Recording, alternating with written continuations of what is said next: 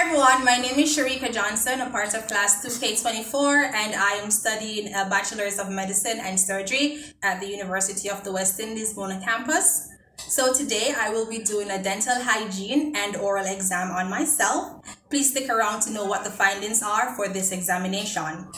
A brief dental history of myself is that the last time I went to the dentist to get a cleaning was November 2019. I've never had an extraction or filling. It's important when doing a dental hygiene oral exam or an oral cancer exam to not wear makeup or to apply lipstick, lip balm, or lip gloss to the lips. So I will begin now and I hope you learned something today. Thank you. Hi guys, it's me again, Sharika Johnson. And here I will be examining the skin of the head and neck region. So here, I'm checking for skin lesions, including growths, ulcers, infections, rough patches, and discoloration of the skin. The skin was observed to be normal. It had a soft and smooth texture and was not prone to sensitivity.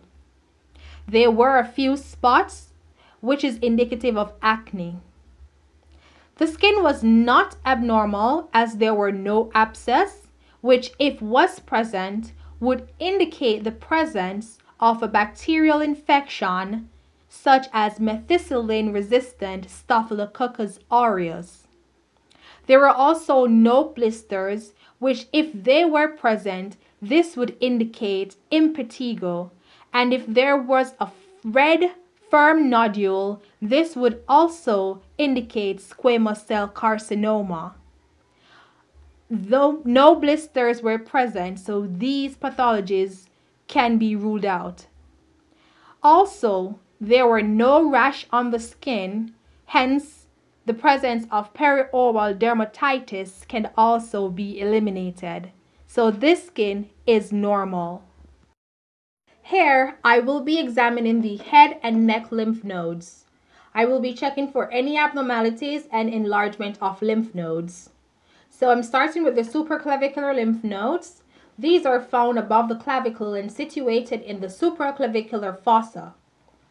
Palpating the supraclavicular lymph nodes, moving on to the submental lymph nodes by applying direct pressure underneath the chin. I will then move to the submandibular lymph nodes by running my fingers along the length of the jawline checking for any enlargement and any abnormality of these lymph nodes.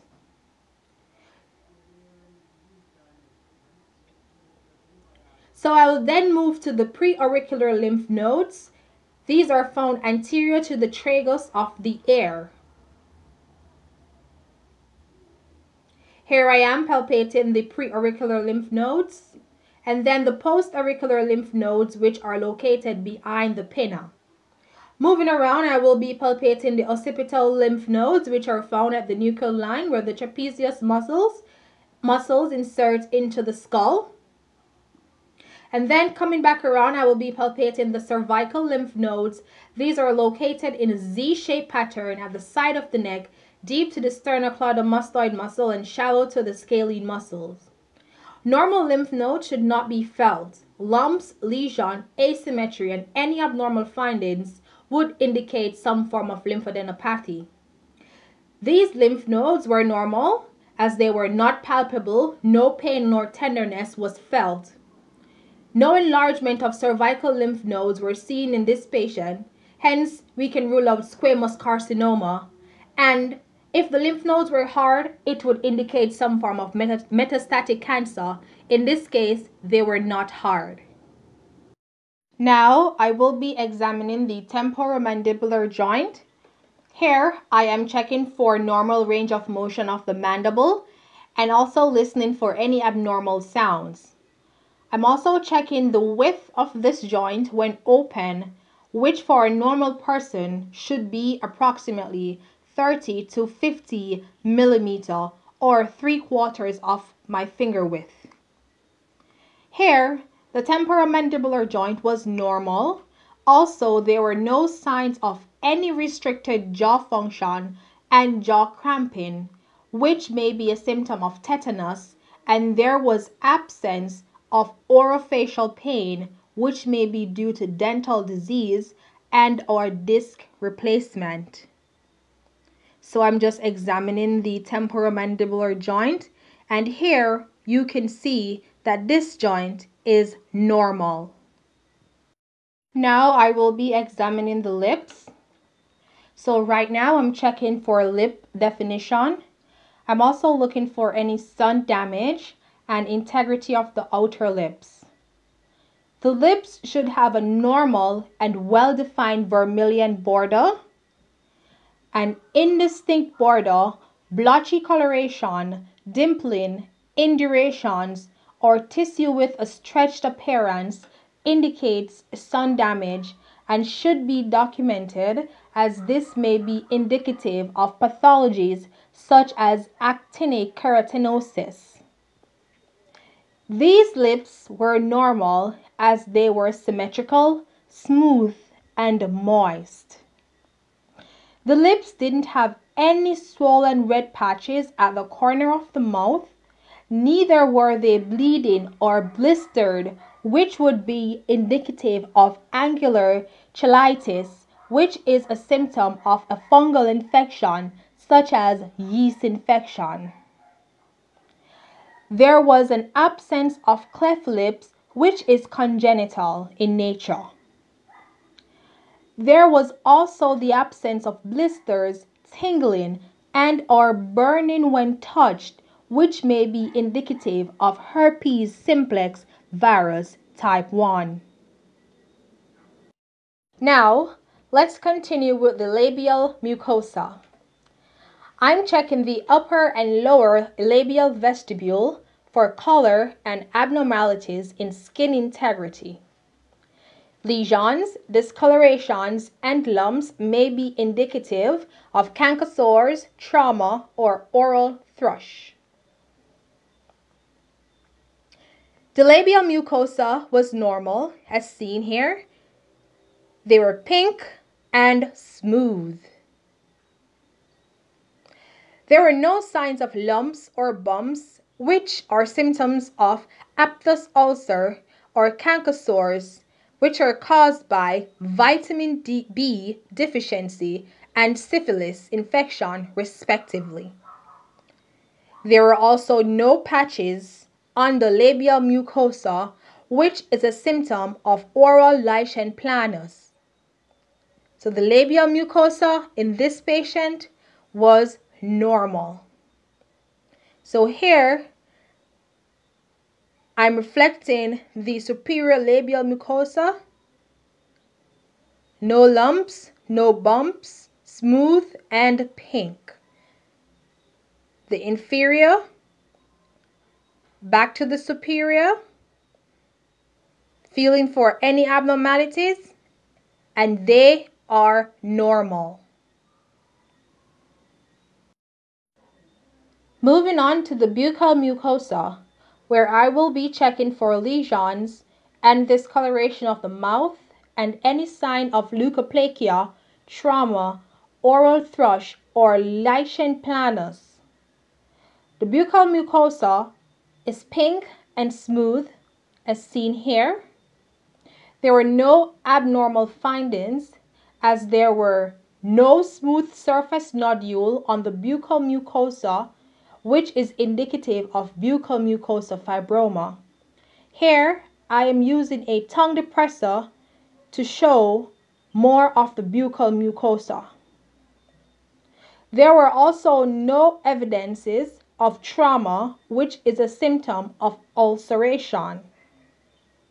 And finally, there was no painless chronic indurated lump, which is indicative of oral squamous cell carcinoma, most commonly seen in people who smoke heavily. So this buccal mucosa is normal. Again, with the tongue depressor, I am just exposing the buccal mucosa to check for any abnormal findings. Now I will be examining the gingiva. Here I am checking for color, tenderness, and lesions. Tenderness, swelling, and redness may be indicative of periodontal disease. I'm also stimulating the parotid gland to check for expulsion uh, and consistency of saliva. I will now use my dentist mirror to examine the teeth, the gums in more particular so I can see up close and personal. Here, the gums were healthy. They're firm and pink. There were no abnormal findings as the gums were not red, puffy, or showed any signs of bleeding, which is indicative of gingivitis. There was also the absence of bacterial plaque, calculus deposition, pulling away of teeth from the gums, and pus. If these were present, this would indicate early periodontitis. With the absence of these pathologies, it is safe to say these gums are normal. The gingiva here is normal. Here I am examining the tongue. I'm checking the borders of the tongue for any discoloration. And I'm also checking for any unusual lumps and bumps on the surface of the tongue. Any lesion present may be indicative of lichen planus, oral cancer, or candida infections. Here I use a gauge to see the sides of the tongue more clearly. The, the tongue was found to be normal. It was pink red and lacked bruising and blisters. The tongue was normal as it did not contain any pedunculated lesions with finger-like projections which is indicative of a papilloma. There was also the absence of white adherent patch or plaque on the tongue which is indicative of leukoplakia and erythroplakia. There was no erythematous halo on the rough side of the tongue, so I can also rule out the presence of squamous cell carcinoma. So here, this tongue is normal. No abnormal findings were seen in this tongue. Now I will be moving on to the floor of the mouth. Here, I am checking for color and abnormalities. I'm checking for any firm tissue, masses, or feelings of tenderness. I'm also checking if there are hard lumps which may indicate lesion in the sublingual and submandibular gland. The floor of the mouth was normal as the tissues were soft on palpation with firm areas noted in the area of the suprahyoid muscles there were no abnormal findings such as intraoral swelling, which is indicative of lithiasis and some form of neoplasm. Also, there were no mucus-filled cavity in the floor of the mouth known as a ranula, indicative of damage to the salivary gland. So, in this patient, it is safe to say that the floor of the mouth is void of any abnormalities, any lesions, any lumps or bumps. There are no swelling felt in the floor of the mouth as well. So hence it's normal. Now let's examine the hard palate. I'm examining the color and nodules and if there is any exudate. So here I'm checking for lumps, tenderness, and discoloration. As seen here, it's clearly outlined where there is a harmless, painless bony growth located on the roof of the mouth. This is called a torus palatinus. And this mass appears in the middle of the hard palate and can vary in size and shape. It's seen in about 20 to 30% of the population, and it usually occurs frequently in women and those of Asian descent. As I said, it's harmless. So other than this, the palate is normal as it is consistent on both sides in terms of its hardness. There were no lumps, tenderness, or exudates, and there were no discoloration, so I can clearly rule out the presence of squamous cell carcinoma, periodontal disease, or pyogenic granulomata. Again, the only thing here is the torus palatinus, which is. Now, I will be examining the oropharynx. So I will be looking at the color, the size of the tonsils, and any other abnormalities. Discoloration may be indicative of leukoplakia, and throat pain may be indicative of oropharyngeal cancer. So here you can see the oropharynx, you can see the uvula, that's part of the soft palate. There you go, the oropharynx is seen clearly. So the findings were normal for this oropharynx as there were no swelling observed and it was pink in appearance. There were no abnormal findings. The oropharynx did not have any enlarged tonsils or adenoids, which is a symptom of cytomegalovirus, CMV, or measles. Also, the oropharynx was not swollen, hence I can rule out the presence of pharyngeal cancer. So this oropharynx is normal. There you see the uvula right there. Hi there, so lastly I will be examining the teeth and I do apologize firstly for the fact that I was sweating in this video. Yes, this is where I became hot. So here I am examining the teeth for possible dental decays, fractures and erosion of the enamel, alignment, sensitivity and for restoration.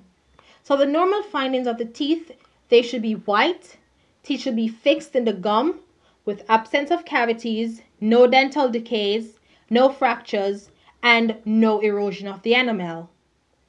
All teeth should be aligned and not sensitive. Here I am pulling on the teeth just to make sure that they are fixed in the socket, in the gum I should say. Alright, so the teeth examined, they were off-white with no observed cavities. All 32 teeth were still in place with a slight misalignment at position number 20, also known as the second premolar in the lower left quadrant. Also, the slight discoloration of the teeth can be linked to poor oral hygiene, as I am not diabetic, neither am I bulimic. There were no fractures and the teeth were slightly sensitive to cold temperature, which may indicate an exposed nerve root. So here I am still tugging on the teeth to make sure that everything is fixed in the sockets, no erosion of enamel, and no dental decay. Smile! Hi guys, so thank you so much for making it to the end of my examination.